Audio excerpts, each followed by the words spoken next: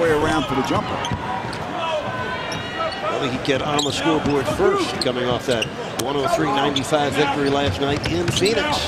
The 11th straight win for the Heat against the Suns, and their 8th straight in Phoenix.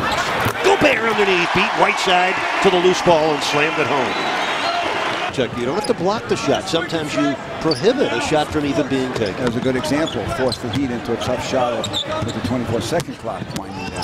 Shot clock is at two for Gobert and the Jazz. He hurried it, but he scored.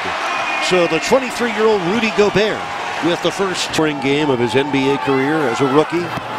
Averages just five points a game. Whiteside tapped it.